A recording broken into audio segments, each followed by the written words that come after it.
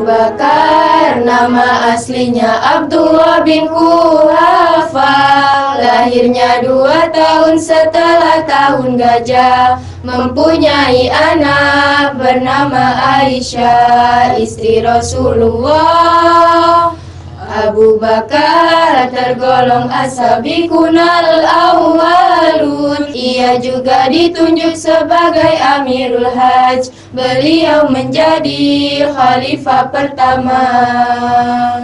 Setelah Rasulullah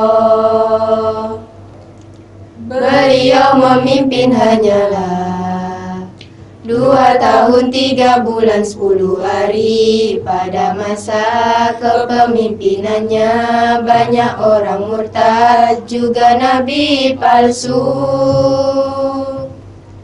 Strategi dakwah Abu Bakar Yaitu memperluaskan wilayah Memberantas kaum-kaum murtad Dan kodifikasi Al-Quran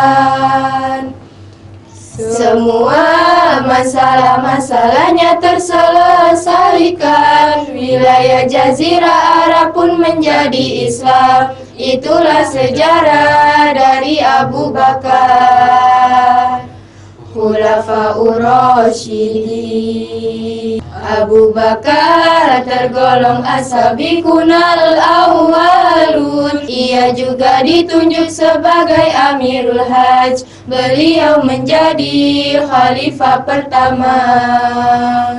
Setelah Rasulullah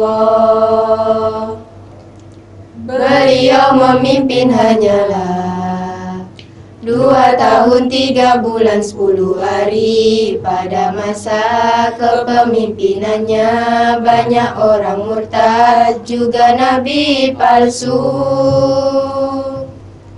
Strategi dakwah Abu Bakar Yaitu memperluaskan wilayah Memberantas kaum-kaum murtad Dan kodifikasi Al-Quran semua masalah-masalahnya terselesaikan. Wilayah Jazirah Arab pun menjadi Islam. Itulah sejarah dari Abu Bakar. Rasyidin